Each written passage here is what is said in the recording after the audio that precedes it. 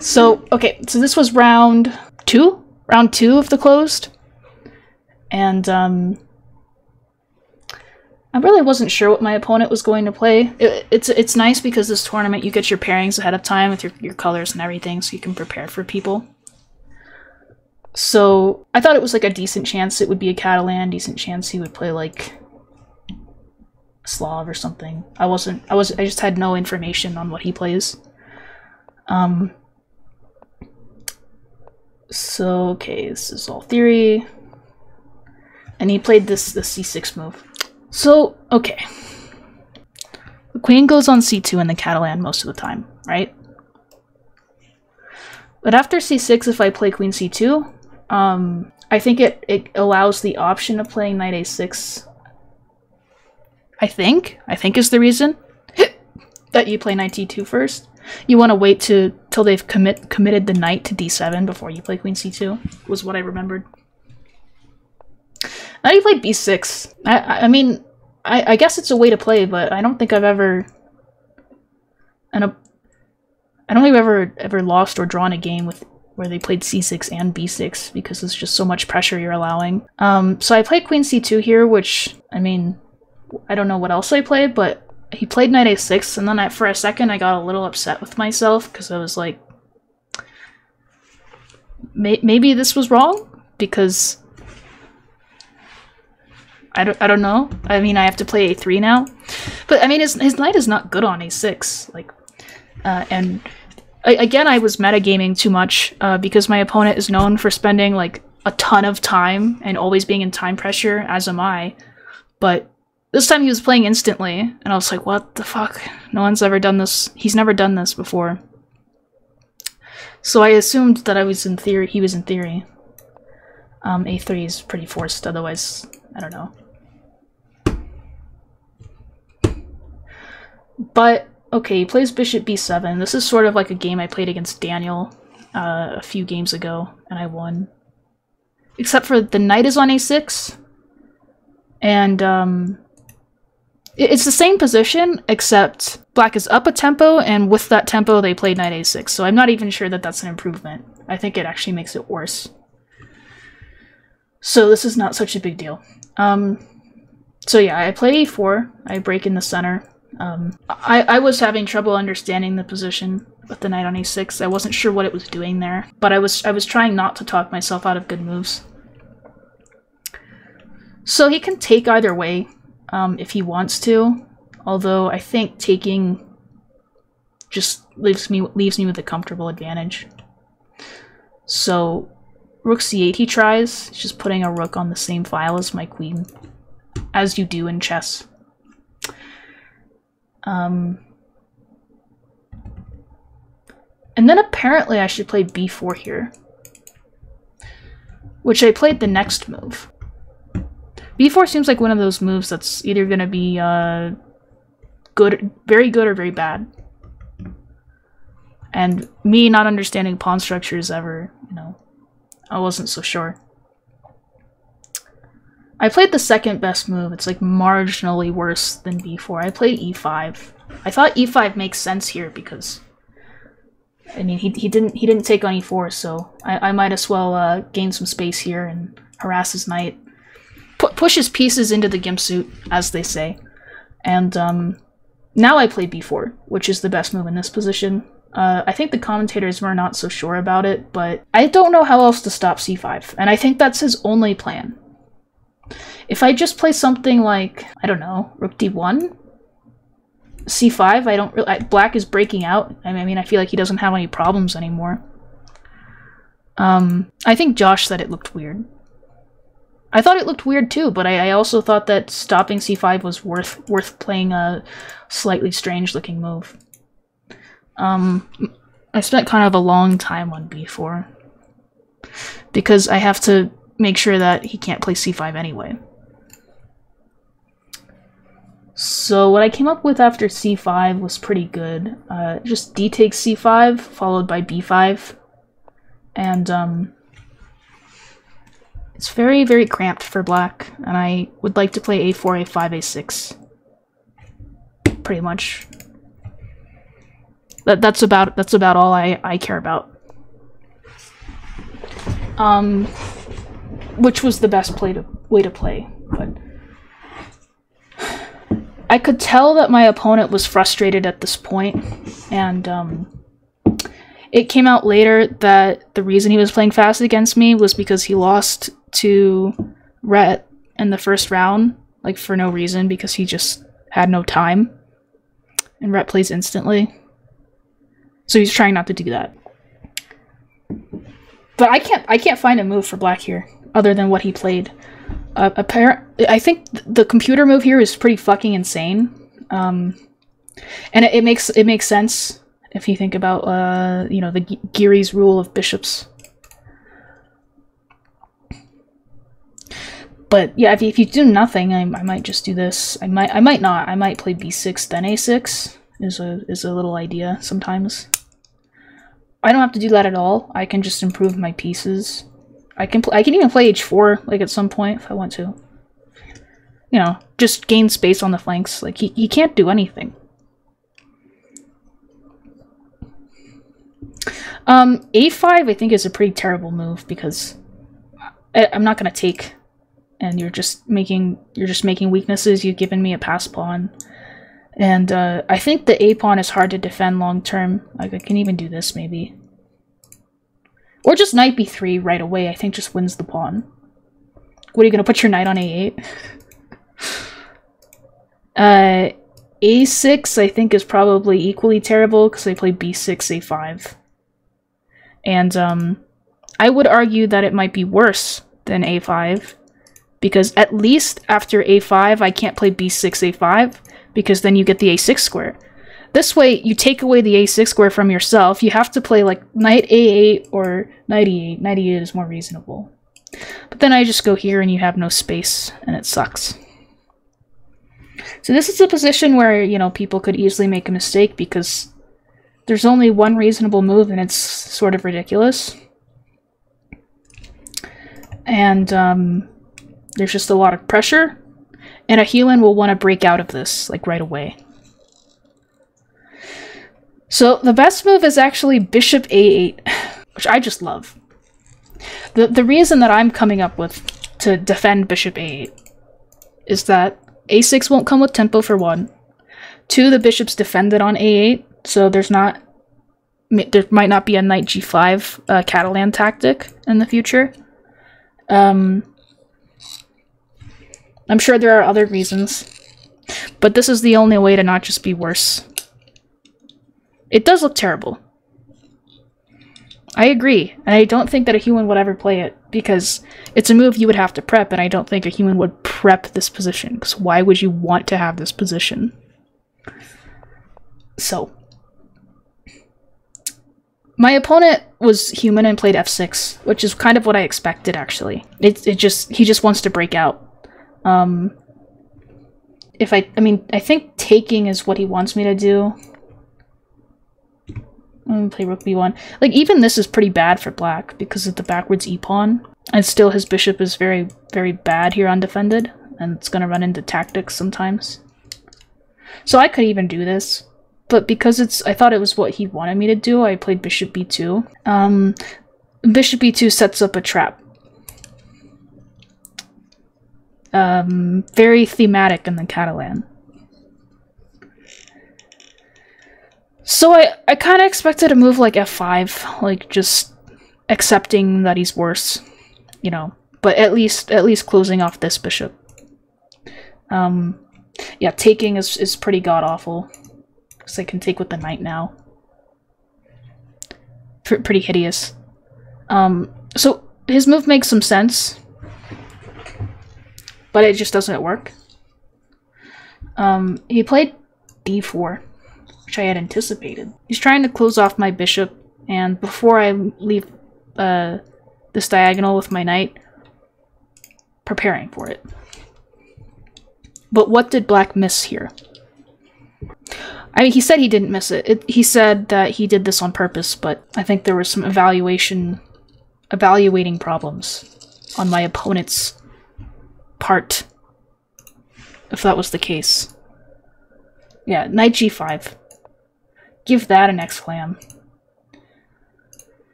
So yeah, I had to I had to think about this a while before actually before I played Bishop B2 I had already kind of uh, thought down the whole line.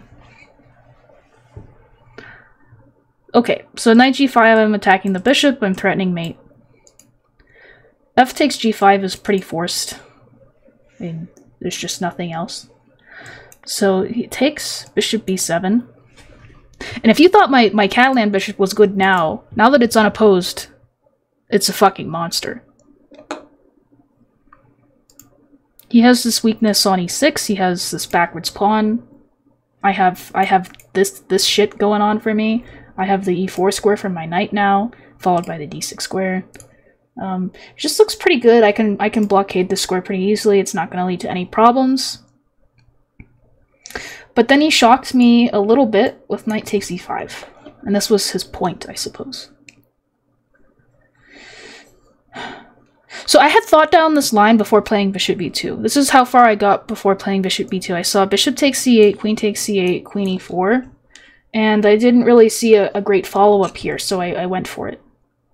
Um, I still had to spend time on each move because I was blunder checking, because I blunder a lot. And then uh, when I got to this position, I realized that if I play queen e4, maybe bishop f6 followed by knight e8 to d6, putting pressure on the c-pawn and kicking my queen off of this nice centralized square, followed by queen e8 to h5, playing knight g4, knight f3, and like trying to checkmate me. So this kind of scared me for a while. I spent like 10 minutes. Or more. I don't know. It's in the VOD, you can go watch, but...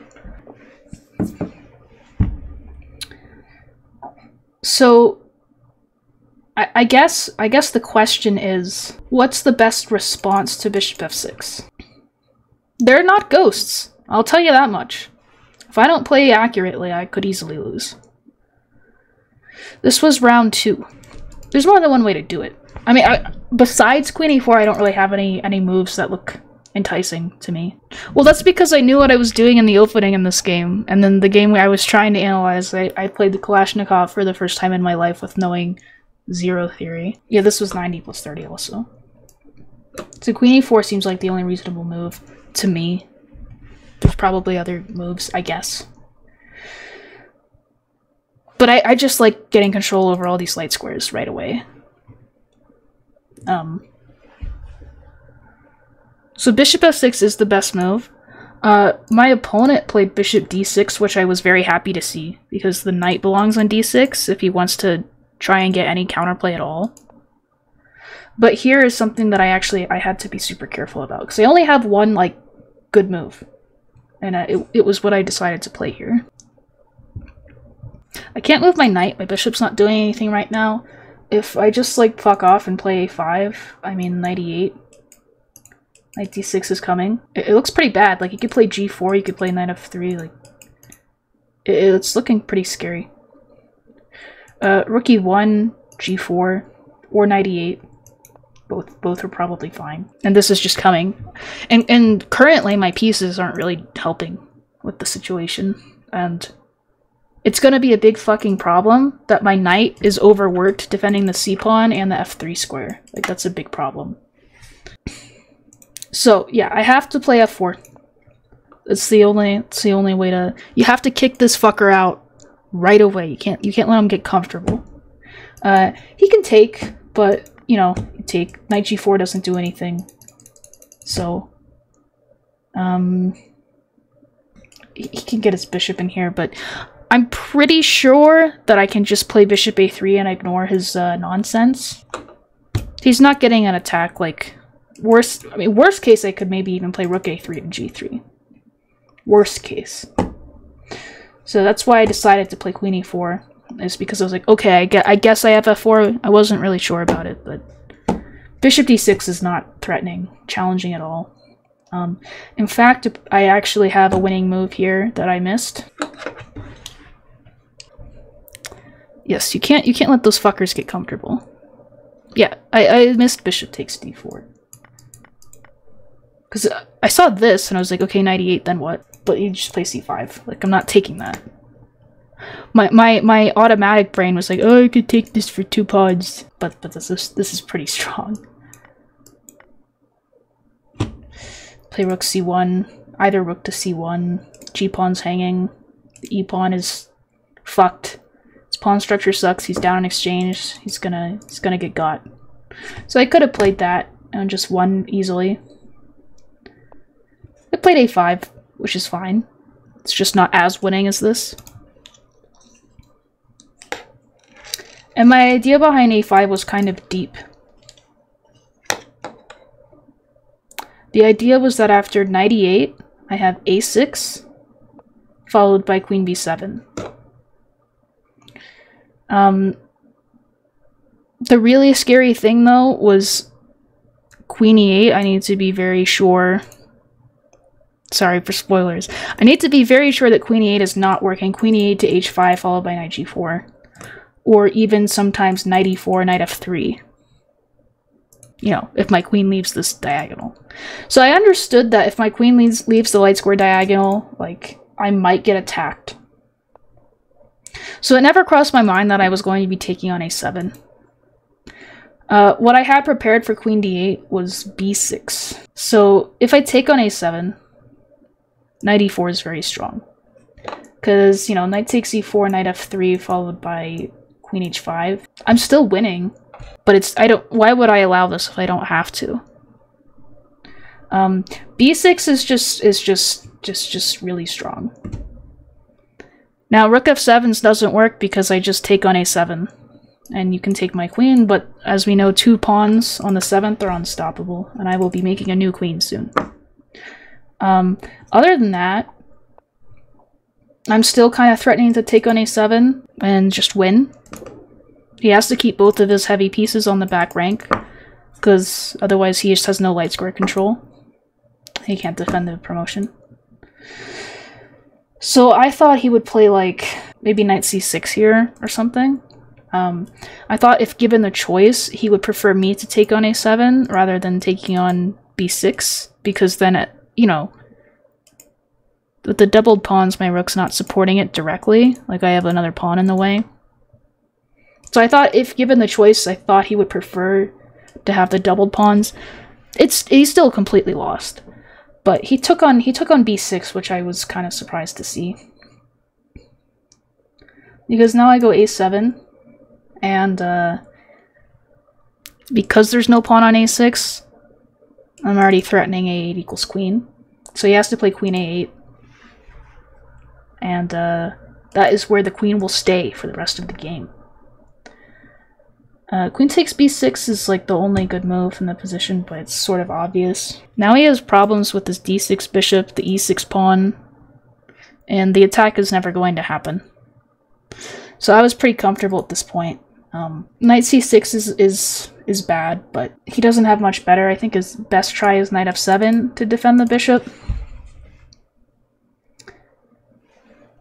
But, I mean, I have like 17 different ways to win at this point. Maybe here. Something like this. You know. And eventually I'm going to promote my A-pawn. So he blunders and plays knight c6. I guess it's not a blunder, but uh, it just kind of fails to rook a6. And there are some cool queen sack tactics coming up here.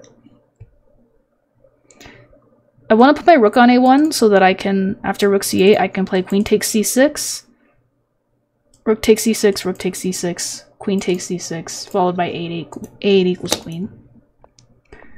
Um, and if he played knight d7, I would have played queen takes c6. This is over. Uh, he can play this, but I take on d6 or knight e4 is pretty brutal. But he thought for a long time and played 98. And I can still take on c6 if I want to, but I feel like this is the closest to consolidating for a move that I would like him to get to. Like, yeah, I take here, but I didn't like him being able to defend this square with anything other than his queen. So I thought knight e4 was maybe more accurate. And yeah, I mean, he still can't play knight f7 because of queen takes c6. I'm threatening knight takes d6 followed by knight takes queen 6, queen c6, rook c6. Rook c6, queen c6, a8 equals queen. So he plays knight b4 as a last hurrah, but I can just take on d6 and then and then take take again. And he he resigned here, understandably so. But yeah, I didn't want to allow him to play knight a8 like a god. So, I don't know. I thought I played okay for that game. He went a little crazy there with that weird exchange sacrifice, if that was on purpose. But yeah, I think what was my one, like, mistake? It was, uh, it was missing bishop d4, like an instant win. But I'm still winning after e5. But anyway,